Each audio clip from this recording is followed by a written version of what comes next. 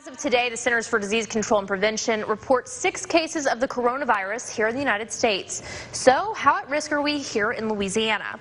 Fox 14's Chelsea Jones joins us now to debunk the myths surrounding the virus. Chelsea?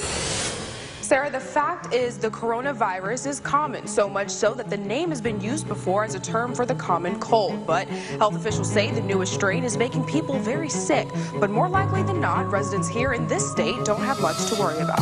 A new coronavirus, a different one that they think might possibly have come from either bats or cats in China. But the good news if you haven't been to Wuhan, China in the last month, you're probably okay.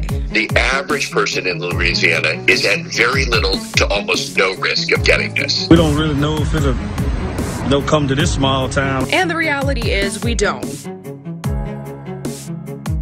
The number of coronavirus cases continue to rise around the country, there are certain areas with large numbers of cases of growing concern. And now Louisiana has more cases per capita than every other state except for New York and Washington.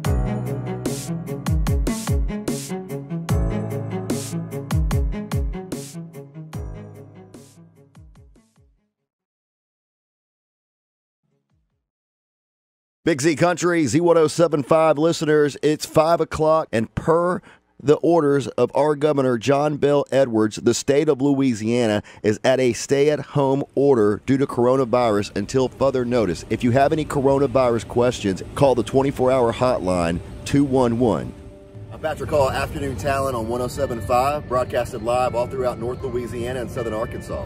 I can't go see my family members. I can't go do my normal routine like I do. And now I have to wear a bandana around my neck. So when I go out in public, I have my own face mask. So I have to use a surgical face mask so they can be used for first responders and people on the front lines of this. So yeah, my world hadn't been turned upside down. I still get to work every day. I still have my normal routine, but outside of my work life and home life, there's pretty much nothing else. And for a radio DJ, getting out in the community is the number one thing that I do every day before and after work. So that part has been hard. Uh, all going all the way back to you know the Louisiana Purchase, and before then, we've always helped out our neighbor in Louisiana. If you're going out to a park as a family and you're playing soccer with other people, you're not helping out your neighbor. That soccer ball is a transfer and carrier of coronavirus. A tennis ball, a basketball. If you're going out to the basketball courts and shooting hoops, you're shooting with somebody from the neighborhood, you're not staying at home. You're not self-isolating. And I think that's the big problem right now. People don't really understand in their life how to self-isolate and how to stay at home because, well, we're not ever forced to do it people are going to start wearing masks more often. You know, we used to laugh, at Michael Jackson. Michael Jackson always wore a surgical mask for the last like seven years of his life. Every time he went out in public, he wore that mask. I don't think folks are laughing at Michael Jackson anymore for wearing that mask because it's going to be a normal, everyday thing. In China, they've been wearing masks for the last two decades because of pollution and problems over there and illnesses. I used to laugh at people, scratch my head at people in the airport that were wearing a, a mask. I don't anymore. I'm one of them. I got to wear a mask too. When I come to the radio station, our boss makes us have a bandana on, and then every time we enter and leave a room, we have to either wash our hands or use hand sanitizer. And I think that's going to be the new norm for sure. I think there's going to be more online shopping, more online things. I think movies are going to go straight to on demand versus movie theaters. I think people are going to be using their backyards and their home space as their safe space now, where normally, you know, your backyard was there for summertime fun I think your backyard's going to be there for year-round fun now.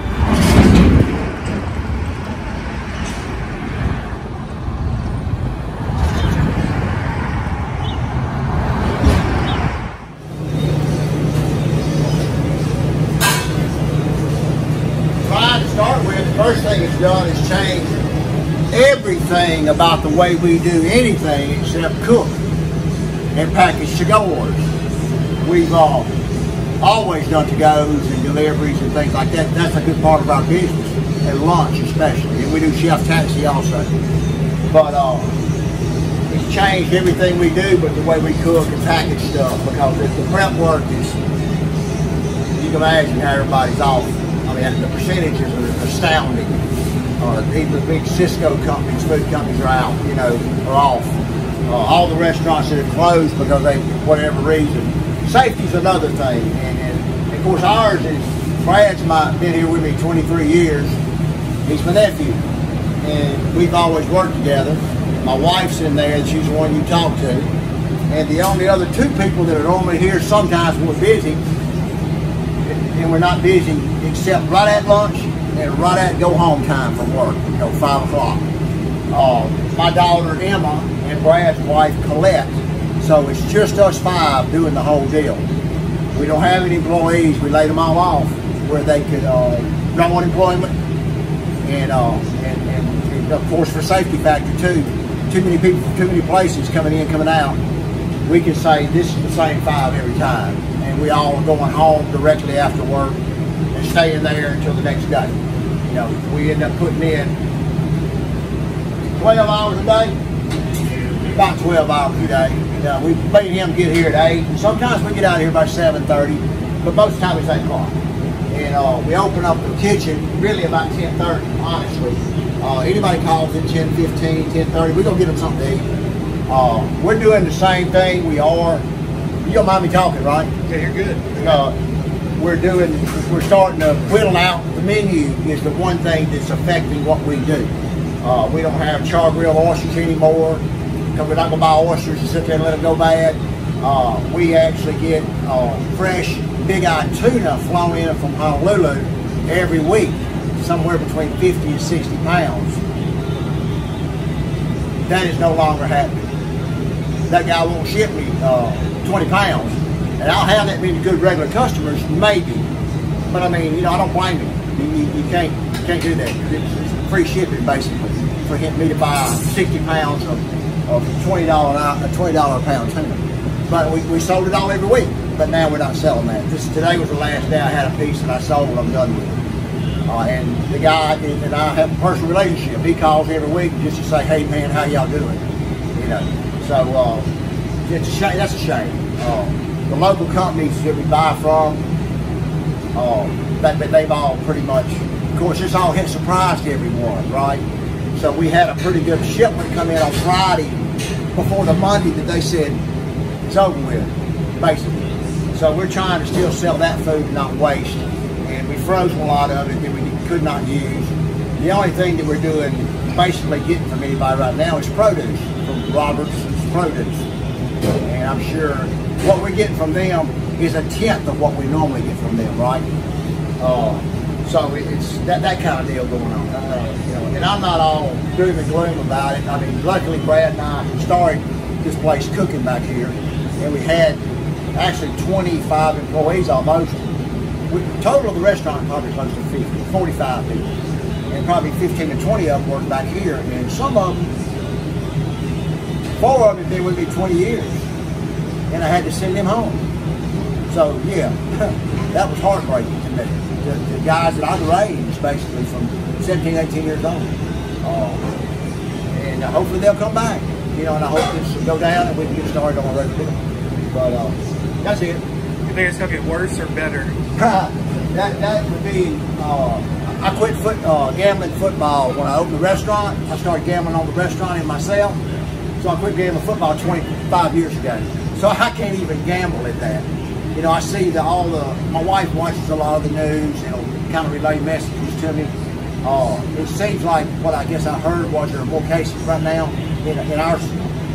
Basically, I'm concerned about everybody, obviously, but Monroe's a big part of what I'm worried about. So if it doesn't grow anymore, maybe it is going to turn the corner.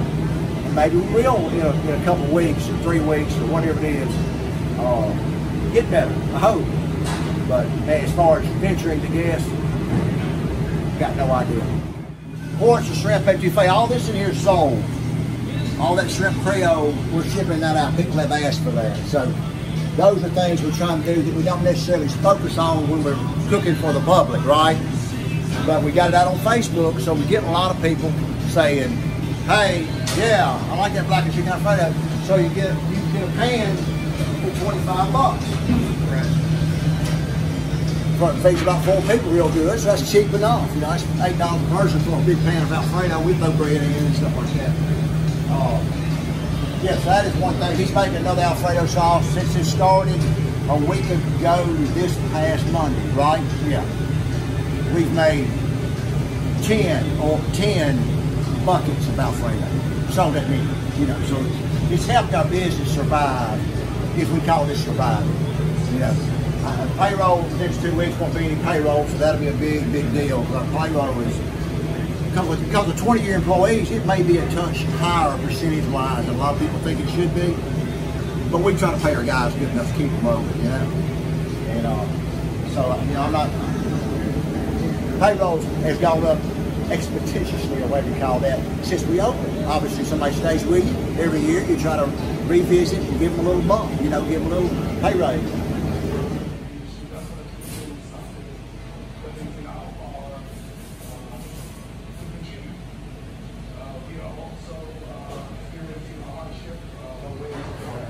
said the same thing I said.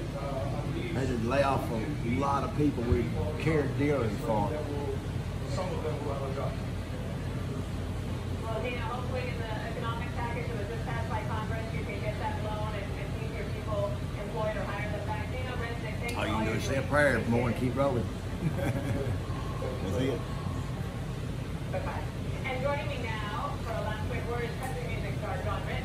He's also the host of Fox Nation show, The Pursuit with John Rich. And John, you're doing something fun. My name is Nick Harrison. I'm a fourth grade ELA teacher with Monroe City Schools.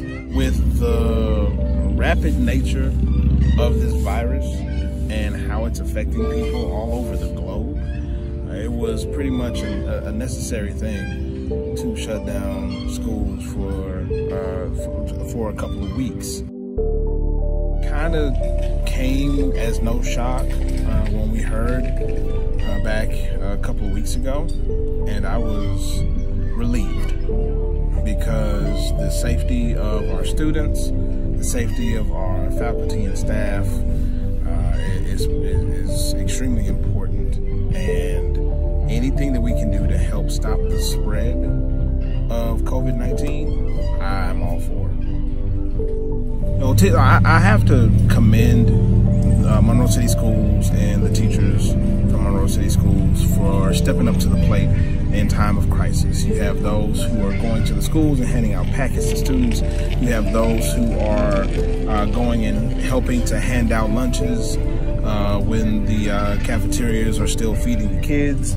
And to those who are like me, who are doing distance learning. You know, there are some teachers who are using Zoom to uh, have virtual classrooms with their students. You have some teachers who are uh, just who are posting assignments online for their students as enrichment. And like we said, uh, the district passed out packets to students uh, for them to work on during this time where they're out of school. So the teachers, the administrators, uh, the school board uh, that's a part of Monroe City Schools is doing an excellent job of making sure that not only are the students still engaged during this time, but that the teachers and the faculty and staff are all engaged as well. Uh, and it's a it's a proud moment for Monroe City Schools. On the weekends, when I'm not working, I'm at home. I'm not going anywhere. I've, I've shopped for the week instead of the, the, the day, as the governor has instructed. You know, I don't eat out. I cook at the house. I made some chicken breasts last night. They were very good.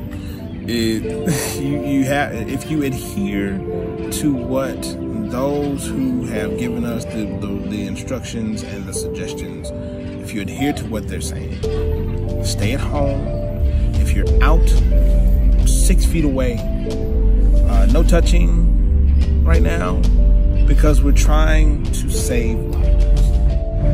Like I've seen, there was video yesterday of a gathering at a local school of about 50 people standing out in the parking lot together. Uh, we we're out here at the park and it is full. Uh, there are a lot of people who are here for church functions. Uh, they're reading scripture with each other. Some people are playing softball. Some are having full-blown tennis tournaments out in the park. This isn't surprising to me because I've seen it even before the stay-at-home order, where you know they were telling us hang out with ten people at a time and no more than ten at a time, and then they said don't even do that, just social distancing, stay at home. There were kickball games going on, and people just hanging out in the park in groups and in droves, just to it's some just really flying in the face of the order. Now, I will say the group that we saw when we first walked in, it was like nine guys, and they were all six feet away from each other, reading scripture to each other, and that's, I guess that's fine. Uh, but it's what we're seeing today. It doesn't really surprise me. I just pray for the safety of all of these people and hope that it, you know they are not affected by what's going on in our world right now because there's a lot of kids out here, and you know that's we want to protect the future generation. The God of the storm is is Lord over every storm of our lives, and we all have uh, storms that come to us in varied and different times of seasons of our lives in varied styles and ways and things that we didn't see coming that sometimes come and knock us in the middle of next week. We've all had our hopes and our dreams and even our sandcastles blown away from time to time. We've had our share of difficulty.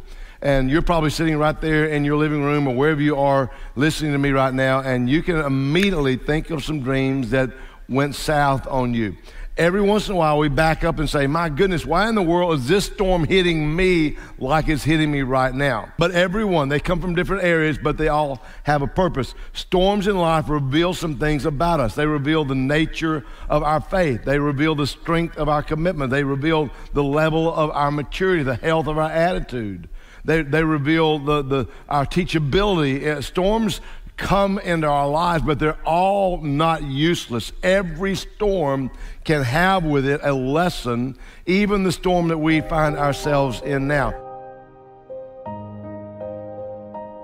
Um, I'm thinking, well, we're all scrambling, right, as pastors and leaders and teachers um, in the body of Christ. Every church that I know of is just scrambling and grappling with, how, do we do this? How do we how do we communicate to the people? How do we keep people encouraged? How do we minister to sick people? How do we uh, continue uh, with uh, church ministry? And so uh, it was a little challenging uh, at first. Um, thankfully, I've got a great team around me um, that really helped navigate through some of that stuff, and we're still navigating, frankly. Uh, Easter's upon us, and we're we're conversing back and forth about ideas for Easter. But um, so it was a, a, little bit of a shock, but at the same time, trying to trying to move and shift with every changing order that came down. So I feel like most churches are doing the best that they can, and so I thank God for that. And people in our community are are being ministered to around the community. You know, as as Christians, um, I think we ought to protect our witness and and in every way do our best to abide by the governor's stay-at-home orders or at least uh, social distancing and those kinds of things. Um, the governor did make a, an allowance for small gatherings to produce uh, church services, but frankly, church as it was before coronavirus uh, is pretty much shut down. I know there are some who, uh, for whatever reason, I, am not here to judge anybody, but aren't, aren't abiding by the governor's wishes and his requests. But I think that just opens us up as a community of believers, as followers of Christ, for criticism. Um, the Bible teaches us that we're to be subject to those who have authority over us. And certainly our governor is the governor of the state and our president, and we should pray for them. We do.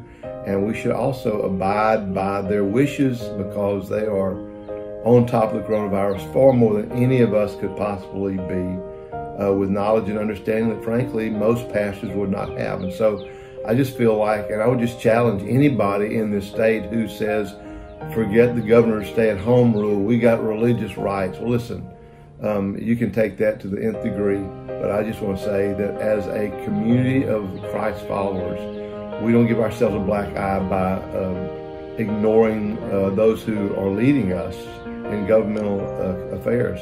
I think we do better by just saying, God, we know we're trusting you in this, and we're going to abide by the governor's orders, and we're going to worship at home and uh, so pastors can put things together. You know, um, it's a difficult thing. Thankfully, I have a large team, but I know that that what we're doing here with an iPhone and uh, some apps and uh, a $50 microphone and a, a $75 light, you can do so much from the living room of your home and still communicate to your people.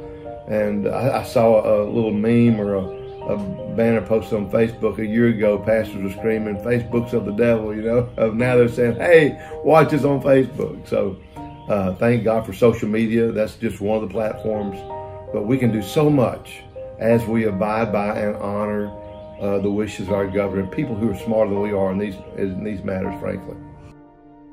Pastors have had to shift to an online format. If we're going to do church right now, it's going to be online. And um, would I rather be with physically with the church family? Oh, you better believe it, man. I am a people person. I love people. Um, and the Book of Acts model, frankly, was um, breaking bread together, sharing one another, fellowship. They continued in the apostles' doctrine, Acts two forty two. Um, but we can do that in a limited degree just through the technology that's at our fingertips. And so it's not fun to adapt, it's not easy to adapt, but adapt we must until this uh, COVID 19 thing is in the rearview mirror. And so it's not that easy, but we can do it. Pastors can do it, church leaders can do it, staff pastors can do it, and set up an online blog, set up a little video chat, group with people uh, in in video chat rooms, and um, you know, um, we, are doing it through our church, and our, our church family's doing it, and we did it last night with with eight of our family members, some in Atlanta, some in Lafayette, Gina, Lizzie, Monroe, and we all just got on Zoom, and uh, man, we had a great time. So you can do that with with people that you love, and I would just encourage you to do that. We need each other. We were we were built, we were wired for one another. And the Bible is full of one another statements. Love one another, pray for one another, support with one another, weep with one another, rejoice with one another. Over and over and over again, one another things are in the Bible.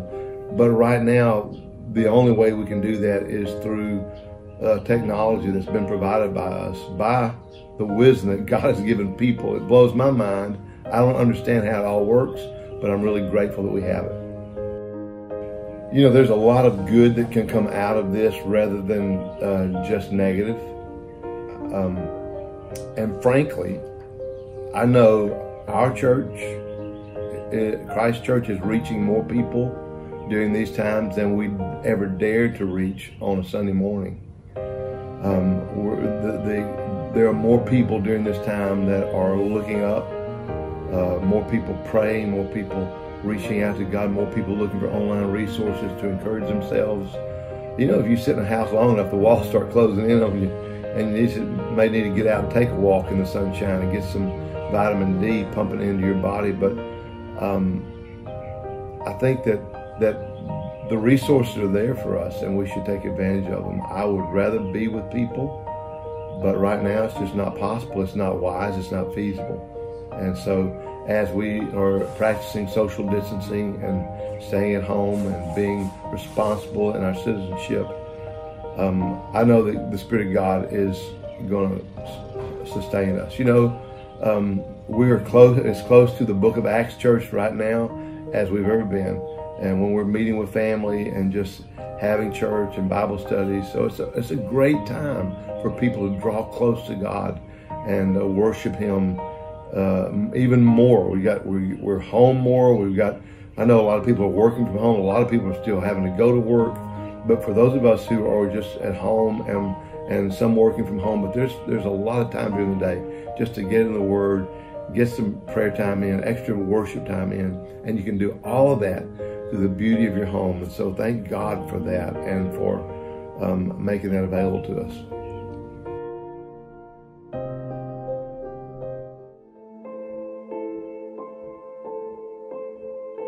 When Gail started this, she started out asking everybody for $5. $5. Well, it blew up. In a day and a half, two days, she raised over $3,000. So there was a lot of people in this community that didn't have milk or a piece of bread or anything to drink. And it just broke her heart. She hadn't slept in a week, I'm sure. So I said, Gail, I want to help. So we partner up and we call it now, this is the Gail Cupid Project. This is her baby. I just want to help. And she is just, it's ran. So it, she has done so amazing. And I'm following her lead. This is our queen. They just can't sleep at night if somebody's hungry. So this woman has been phenomenal. For me, the importance of this is for being the hands and feet of Christ. I'm blessed every day and my husband and I say we could not go home every night and lay our heads on our pillow while we have the ability to do something that we feel during this pandemic the Lord has deemed us to do. He has laid this on us. Um, we can now sleep at night seeing people that we fed during the day and knowing that children and adults as well are going to eat and not only for today for the next several days they're going to have food. So um, it's not about me it's not about my husband or anyone that's helping us. It is simply about people hurting and our community. And I'm so proud of the way our community has come together. Um, we're so thankful.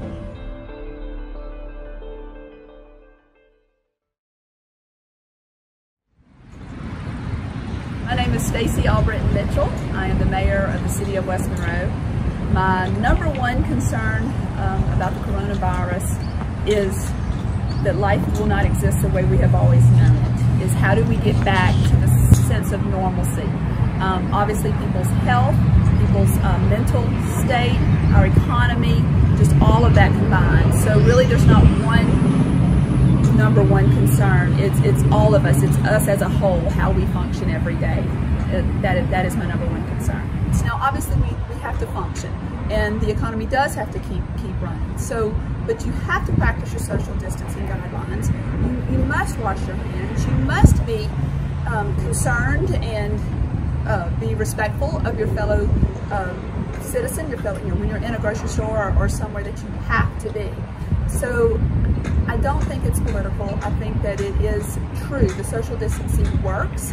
It is, um, I get an update from not only the Glenwood Hospital CEO, but obviously our parish leaders about how our, you know, we don't we don't want to overcome our supply of hospital beds and ventilators and that type of thing. And it's, it's a life or death situation. So we want to make sure that, that we do flatten that curve um, while maintaining some sense of normalcy there.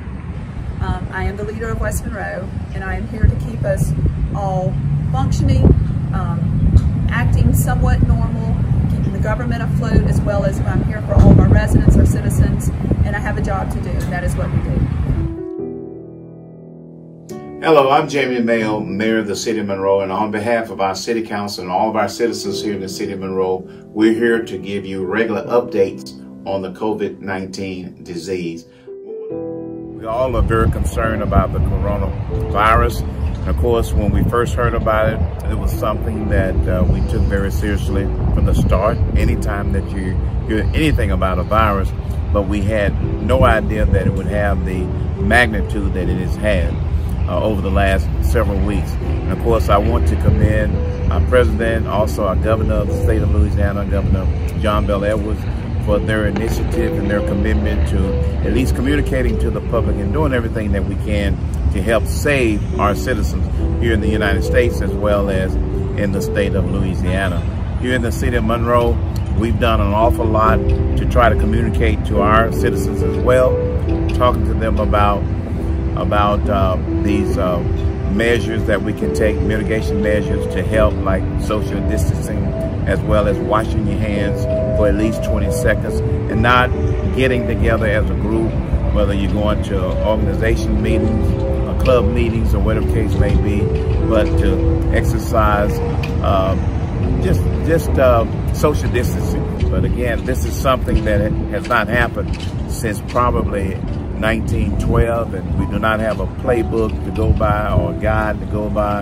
Um, but we do have uh, standards. We do have the healthcare profession professional that's working extremely hard, but a lot of the hospital beds are, are, filling up in other parts of the country, such as New York and in California. We certainly hope that that does not happen here in the uh, city of Monroe, but if it does, we've already offered our Civic Center to St. Francis and to some others, uh, healthcare providers, and so we just don't know how long this is going to last. We're hoping that it will end pretty soon, but it's important for everybody to, again, to exercise social distancing to make sure that we can minimize the, the spread of this horrendous virus and also that we can flatten the curve because as long as the curve is going up in terms of those that are being detected. Uh, it's going to cons- considerably get worse, but uh, we really need cooperation. Please keep safe, stay safe. I'm uh, Gary Jones. I'm a, a, family practice physician. I'm one of the founders of Vantage Health Plan uh, 25 years ago. I'm the CEO and Chief Medical Officer for Vantage Health Plan. And then we also, Vantage uh, is owner of Affinity Health Group, which is a large physician group practice uh, in Northeast Louisiana. And then we also are owner of Monroe Surgical Hospital, which is a 10 bed surgery hospital in Monroe. Probably a lot of things aren't going to go back to the way we used to do them. Uh, just for instance, uh, this interview you and I are doing now over Zoom. Uh, everybody's, you know, just as an employer at Vantage, um, we've moved almost all of our meetings to either WebEx or Microsoft uh, meetings or uh, to Zoom. And so, you know, we used to, we'd have a large meeting in one of our um, large meeting rooms with 20 or 30 people, or we'd have a, a group of 10 meeting in a boardroom conference room. Uh, we've moved everything now to, to WebEx or some other uh, video chat uh, we've also have almost half our employees now working from home at Vantage. A little harder to do with our Affinity Health Group, uh, with all of our clinics. But um, anyway, as an employer, we're using technology more than we ever have. And um, I think because people are getting used to it, uh, I doubt we go back to the old way of doing things. It's so much easier. You can go to three or four meetings from your desk, from home, if you're traveling, you, you it's really easy to do. So I think it's going to really push those types of meetings. As a uh, healthcare provider, it's really changed a lot too. We knew that telemedicine was coming. And as a health plan, we have our own transportation services that we provide to our members. So you probably have seen some of the affinity vans uh, out around the countryside so Vantage actually insures Medicare members, uh, large group commercial groups, and we're one of the plans on the individual exchange and the small group exchange in Louisiana. And we have our own vans and drivers that pick our members up that have transportation problems and take them to their providers. So one of the nice things about telemedicine is if the patient uh, could have been treated by a video chat program like we're doing, uh, they could have spared themselves the expense or trouble of, of traveling a long way to their provider's office. A lot of um, medical visits can be done by video chat. I mean, upwards of probably 50%. And, um, and so this has really pushed us because we were concerned about our patients that come in for regular checkups that have chronic illnesses being in a waiting room with someone who was coughing or having respiratory symptoms. As soon as it started, we reached out to all of our um, providers and asked them to call all their patients that were on their schedules and to convert as many of those to telemedicine visits as they could to keep those chronically ill people out of our waiting rooms and, and keep them at home where they were safer. Um, at the same time, we put up signs outside our clinics to tell anybody, anyone who had an acute illness, to call a respiratory hotline that we set up. I, th- I think this is really going to change things going forward and make us a society that um, makes it harder for uh, a virus like this to cause a pandemic. In that um, we we're going to start using are going to start using technology more, both for education. I think you're going to start seeing education move, move, move more and more toward technology. Uh, businesses, as I said, uh, our business will never go back to the way it used to be because we've already embraced the technology now. Most of this technology we've had for years, uh, but it was a change in the way we did business. And so it took something like this to push us into using that technology, but it's been here. And same with telemedicine um, you know, before we had COVID 19, we still had the flu, and yet we had people coming in our offices with chronic illnesses sitting in the same waiting room with people who were coughing. Um, we've changed that immediately when COVID 19 came out. We started treating people that we could at home to keep them completely out of the office. We moved people with chronic illnesses that did not have an acute illness to the morning visits, and we moved people with acute infectious illnesses to the evening, preferably after 3 p.m. in the evening. So we're keeping them separate.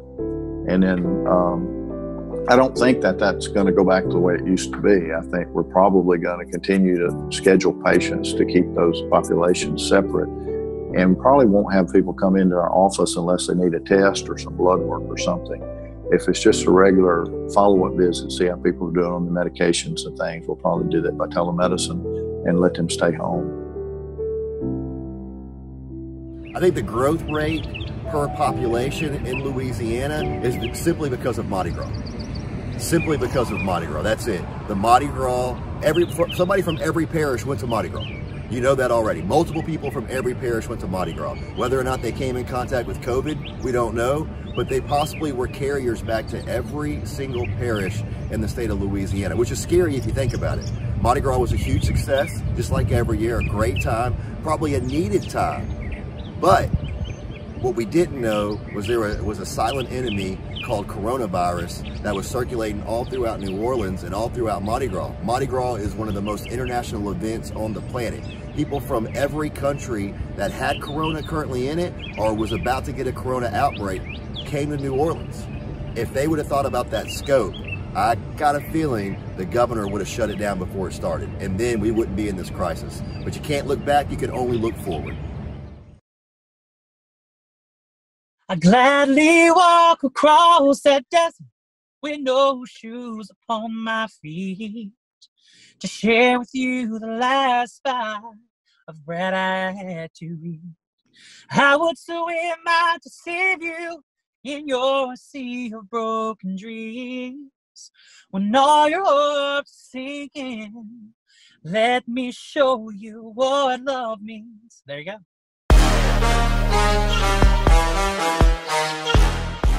My given name is Dex Poindexter. Um, I perform in the illusion of Dextasy. I am the current reigning Miss Gay Mid Atlantic America, and I'm first runner up to Miss Gay America 2020. I do travel a lot in the Arklatex area. Um, I was just in Dallas and Houston and um, New York City right before this all actually happened. I'm most known for my live impersonation of Wynonna Judd um, and I travel many, many places and impersonate her. And I do other things, but really she's my bread and butter, and that's how a lot of people know my name. Um, but these pageants are made up of some of the most uh, dynamic and talented entertainers across the country.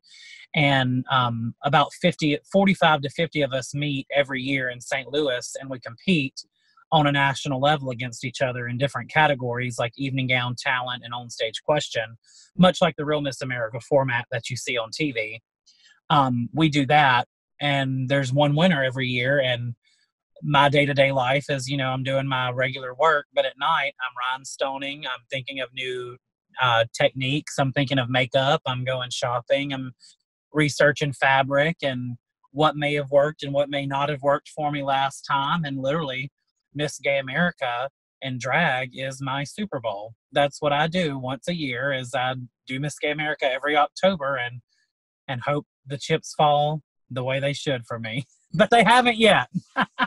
we actually got the notice about two hours ago that um, Miss Gay America is canceled this year. So a lot of my travels, a lot of my bookings, um, those the monies that I make during my drag shows all go into my savings for Miss Gay America.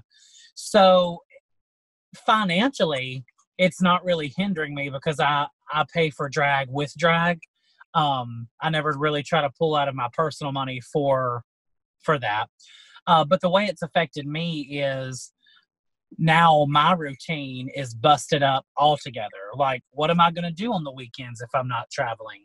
What am I going to do for a week in October that I usually take off for Miss Gay America? Like a lot of my adult life um, and my off time from my my job really does revolve around the art form of drag, and to not be able to have that outlet, it's like, well, I better find something else to do in the meantime.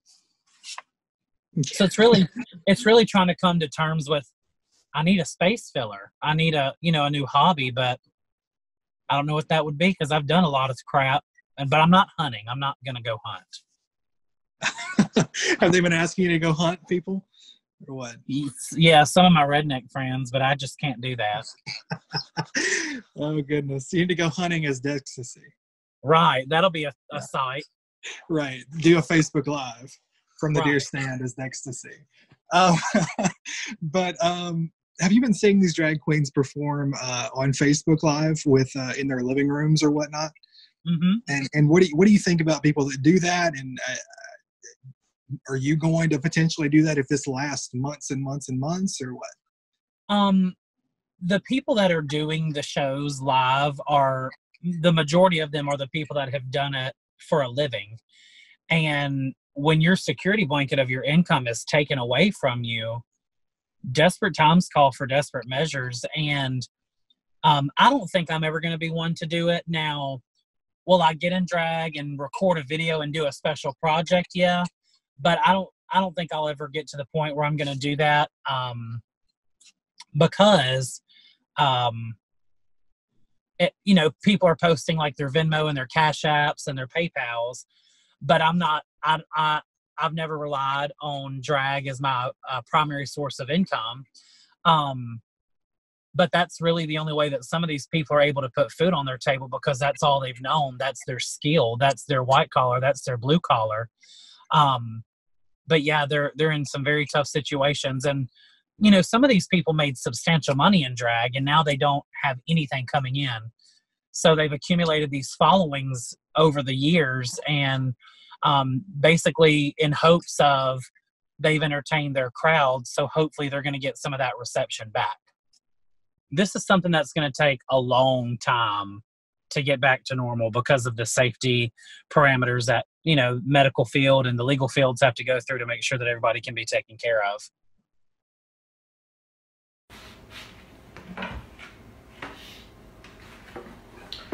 All right, guys. Good morning. I've been thinking about uh, what would be the perfect song for for our mood right now. I think I found it. So sing along if you know it. So, uh, first of all, people have got to learn, if they didn't already know how, they've got to learn how to hustle right now. You know, people have to learn how to use use their own talents and skills to to find ways to make money right now. You know, and no matter what, I mean, if you, if you have been affected financially and you're out of a job or you've been cut back on hours and you have to do that. Now, we live in a virtual world now, um, and it's never been, you know, more obvious than it is right now. Um, so what we are doing is we're doing a we basically that it's a fundraiser, but I'm actually going to go into it today and kind of change the wording of this because we are benefiting local musicians. But what I've found is the best way to do that right now is to have a virtual venue, which is what we are. Um, so because it, I, I can't fairly distribute the amount of money that I have to local musicians. But what I can do is I can pay people to come on and perform. I, I can pay them a flat rate to come do that, and we can use the funds that we've raised to continue to do that, and give them a a venue when all other venues are closed right now. And what we really need to do is have about, at, you know, at least three or four more of these virtual venues in town that will basically pick up the slack uh, as much as we can. Because whereas some of these musicians might have been making, you know, 150 to 200 dollars a night, I can't pay that uh, and sustain what I'm trying to do. So I'm, I'm, I built what I think is a, you know, me, not just me, but me and Ira Barger have been working on this, and we've built what we think is a sustainable model so that we can continue to do this during what we think is going to be, you know, we expect this to at least be through, at least through June. You know, so we got at least at least minimum two months of this that we're going to have to try to do. Um, so yeah, musicians have um, we've had the rug pulled out from under us. Those that make a living by playing uh, live music right now. Uh, thankfully, and this is this is good and bad, uh, but most musicians also have other jobs.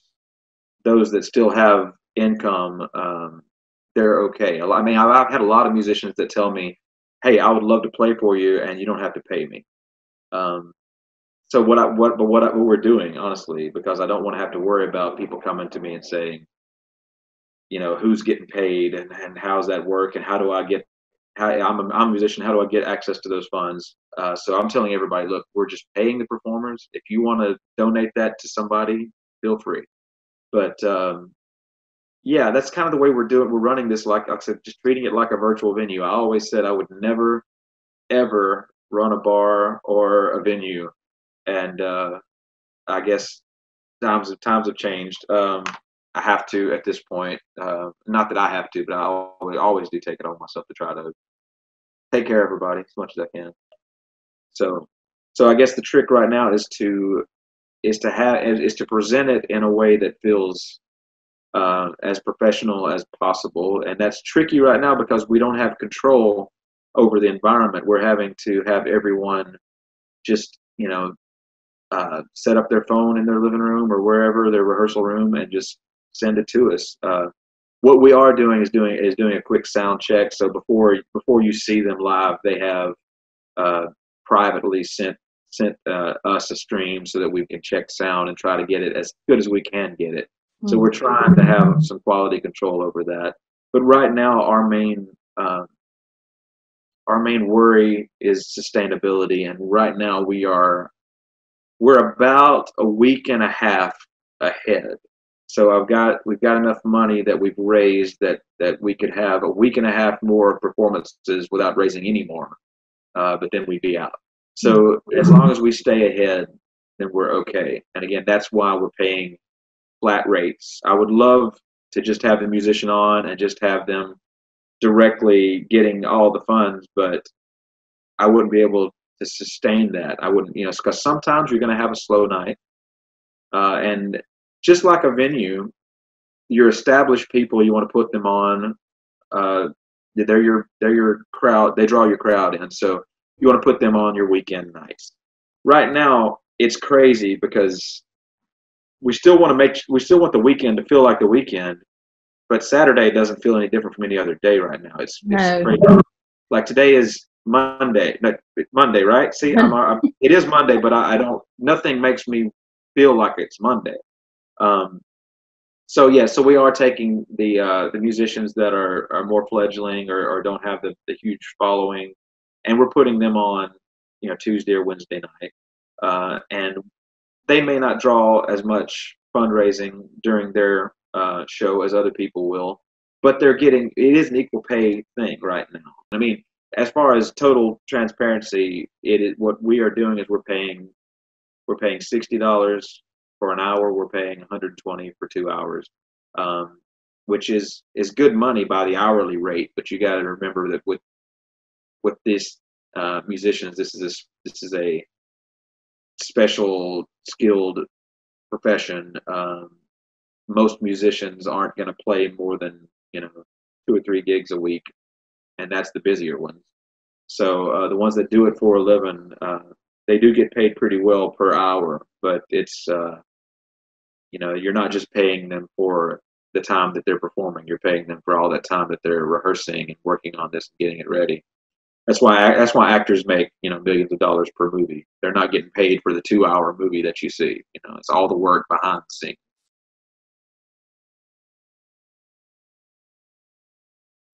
My name is April Massey, and I'm the owner of Three in One Roots. Three in One Roots actually started at my kitchen table, um, and you know just grew over time. And so I'm always trying to think of like, because we do have a lot of boutiques in the in this area, and I'm just trying to think outside the box and do a little things a little differently. Um, but I just had this idea of you know the essential or non-essential t-shirts. So this is the I am essential and then I, this one's for me. So I did the small business owner on there. But then there's also on the back the Colossians 129 to this end I labor, striving with all his energy, which so powerfully works in me. Hashtag my labor, hashtag his energy.